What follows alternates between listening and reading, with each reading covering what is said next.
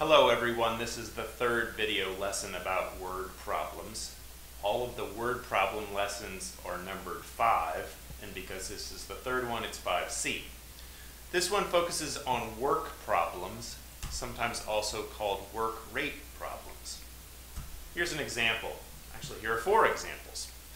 Now, if you already know how to do these, then these can go very quickly. If you have no idea how to do these, then you should quickly realize that uh, you're not going to get anywhere. What I don't want to have happen to you, though, I don't want you to spend tons of time at this only to find out that you don't really know how to do these. So hit the pause button, do what you can with these. If you understand them well, that's great, um, but I'm about to show you how to do them if you don't know how. When you come back, I'll show you the answers to these four.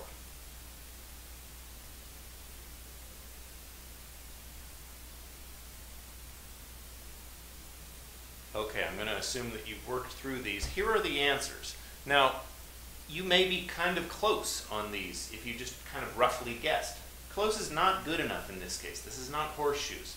Um, so you have to get the answer right. Uh, these may be rounded. I, I, can't remember whether they're rounded or not. I didn't um, type up these answers. But um, uh, if you don't have a decimal very close to 4.24, then don't assume that you get this just because you got something kind of near.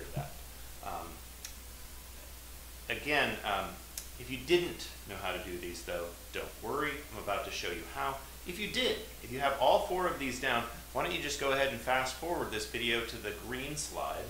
And right after that green slide is another set of problems. And if you can do those, then you're all set. Okay, as promised, let's walk through one of these. This is a different one than the ones I've just shown you. This is a story about painting an apartment, and in this case there are two different people, Kali and Trevin, and they're both going to work on it together. Kali can do the apartment by himself, herself, I don't know um, the name Kali, in seven hours. If Trevin did it, he would do it in five hours.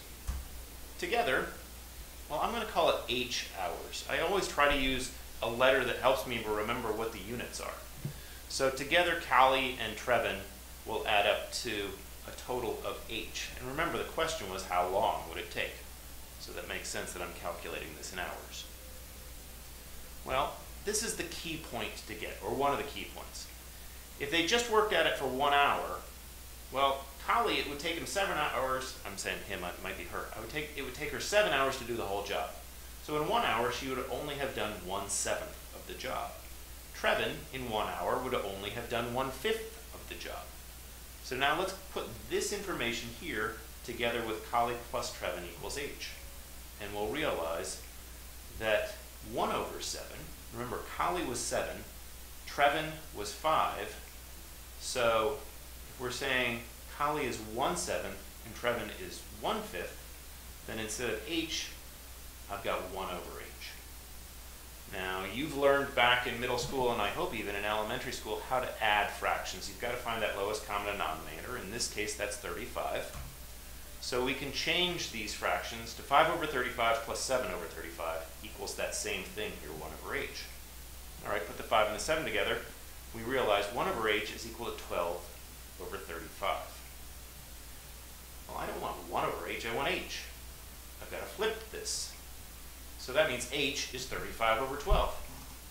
Now that might not look like a very clear number, but plug it into a calculator. 35 over 12 is 2.916 repeating, roughly 2.9. That's your answer. 2.9 what? Well, remember I said h was selected to stand for hours. In about 2.9 hours, Trevin and Kali would be done if they worked on the house together, I mean the apartment together. Let's look through this one more time and realize I've actually only taken three steps to solve this problem. I started off by taking the pieces of information, the numbers that I had here, the work rate for one person plus the work rate for the other person, and I just made them in fractions that were reciprocals. So instead of 5, it was 1 fifth. Instead of, where is it, 7, it was 1 seventh. Is equal to 1 over the total. Then I had to find common denominators and put it together. That's middle school stuff or even elementary school stuff. Then all I did was flip that fraction. Instead of 12 over 35, I made it 35 over 12, and it became 2.9. So again, three steps. Make two fractions, one for each person's rate, but flip them upside down. Second step, find combined like terms and combine the two fractions. Third step, flip the fraction. That's all there is to this. Hopefully, now that you see those three steps, you can go back to those four problems and realize now that they will go fairly quickly for you. Hit the pause button do all four. When you come back, I'll show you those answers again.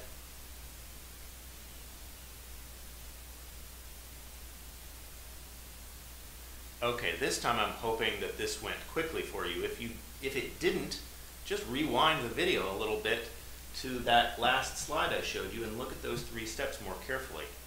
Hopefully it did, and there are those four answers.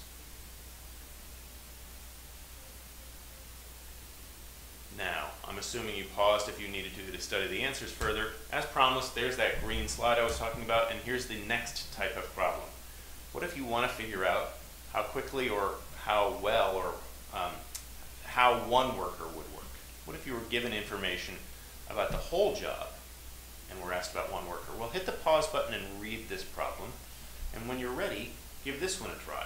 Again, if you know how to do this, and I show you the answer, then you'll be able to fast forward to the very end of this and to one last green slide. But if not, um, uh, don't worry, I'm about to show you how to do this. Okay, I'm going to assume that you've solved this problem or worked on this problem as much as you want to, this problem about the, uh, the picking of apples. 14 hours is how long it would take Rob to do this. You see how to calculate 14, like I said, fast forward the video to the green slide. If not, let's talk about how this was calculated. First of all, let's remind ourselves back when we were talking about painting the apartment of the three steps. Remember the three steps were these ones. I won't talk them through all over again. But let's apply, these are the numbers for painting an apartment. We want the numbers for picking apples. Well, this first step, remember this was that fraction where you flipped um, the numbers for each person upside down. But in this case, I have the total. I have 6.16 hours. And I have the amount for one of the people. It's 11. What I don't have is the amount for Rob. So I've got to figure out, how do I figure out that number this time? Well, once again, I'm going to need, oh, I'm sorry, before I forget, I picked this problem to show you because it has a misleading number in there, a red herring, some people call it, 40 bushels. It doesn't matter what this number is. Think of this as the job. The job is to pick all the bushels you need to pick. Who cares if it's 40 or if it's 4 or 444? The point is, how long does it take to pick all the apples you need to do? How long does it take Rob to do that? So this number 40 is never again going to appear in the problem.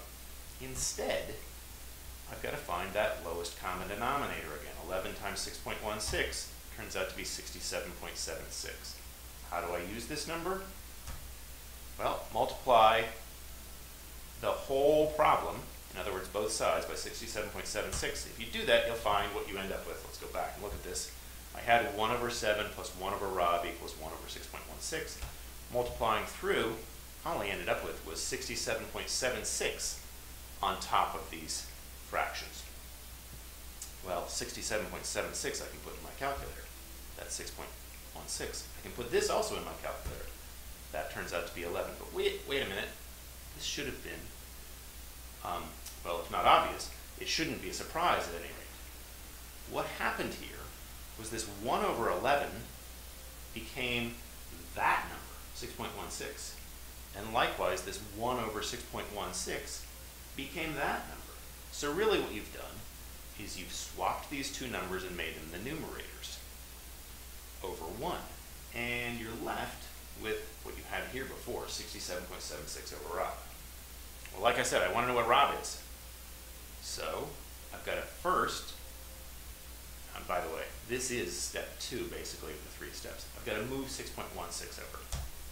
So now, for step three, 67.76 over Rob is equal to, well, what's 11 minus 6.16? My calculator tells me it's 4.84. Well, that's nice, but I want to know what Rob's value is. So I move Rob over here, and I move 4.84 there. In other words, I multiplied both sides by Rob and got Rob over here. I divided both sides by 4.84 and got 4.84 over here. So this is the setup I have. Rob is now equal to 67.76 divided by 4.84. My calculator tells me that's 14. And that's my answer. It would take 14 hours for Rob to do it alone. Once again, hit the pause button if you need to, but make sure you get what we've done here. All we've really done, we've created this same set of uh, uh, rational, this same rational equation here, or set of um, fractions. And second step, we simply swapped the 11 to the numerator here, or swapped the 11 to this place, swap the 6.16 to this place, and above Rob now I have 6.16 times 11. Third step now is to just move everything around so I solve to find out what Rob is.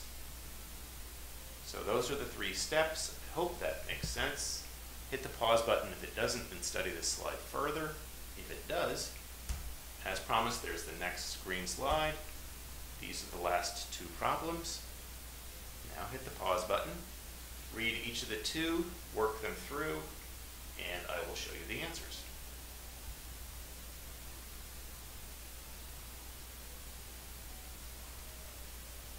Okay, I'm going to assume that you've paused and worked these out. There are the answers. I hope you remembered in this second question here, 10 feet by 10 feet, that was a misleading set of numbers. You never actually needed that to answer the question. The job was to dig a hole. It doesn't matter the size of the hole, it's how long it takes you to dig the hole. That's what you're being asked. In the first question, I hope you got 8 hours without any decimal. In the second question, I haven't worked this through to find out if it's a longer decimal than 10.01, but make sure you got something very close to this, um, where only a rounding error would make the difference. If you've got all of this, great. If not, come in with questions. I'll be happy to see you next class.